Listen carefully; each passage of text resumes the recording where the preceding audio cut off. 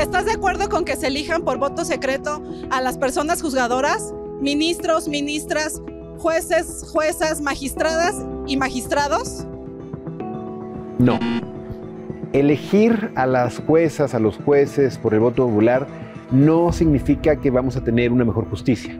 Esa idea de la legitimidad popular que debe erradicar en todos los poderes para el poder judicial creo que es falaz es falaz en el sentido de que la justicia, una sentencia, la normatividad propiamente, no genera mejores insumos a través de la legitimidad de las personas. Lo que estamos viendo ahora es que con esa elección popular, las personas que van a llegar a esos puestos tan importantes de toma de decisiones, pues no va a ser ni las más capaces, ni las más éticamente solventes, sino simple y sencillamente las más populares. Y después de cómo a lo largo de los años hemos estructurado el derecho y la justicia, tenemos claro que lo que necesitamos aquí son personas técnicas, son personas que tengan las capacidades, el conocimiento y los valores para poder tomar decisiones no en apego a la voluntad de las mayorías, sino respecto a lo que dice la Constitución.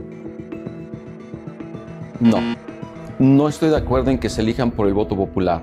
porque para empezar, la ciudadanía no va a elegir de forma directa a quienes quieran ser candidatos, porque los candidatos van a ser previamente seleccionados por un comité de evaluación del cual no se garantiza que realmente vayan a cumplir con la imparcialidad y la objetividad en la revisión de los perfiles idóneos de aquellos aspirantes a candidatos a los distintos cargos que son jueces, magistrados y ministros. El hecho de que los comités de evaluación sean un primer filtro es decir, van a ser ellos quienes realmente van a presentar a los poderes y los poderes van a avalar para que posteriormente sean los ciudadanos quienes vayan a elegir y esto va a implicar que exista el gran riesgo de que se politicen estos cargos y de que no se garantice una independencia, una autonomía eh, y una imparcialidad y sobre todo que quienes lleguen a ocupar esos cargos de jueces, magistrados y ministros, ministras, magistrados y juezas, simplemente no van a tener ni la experiencia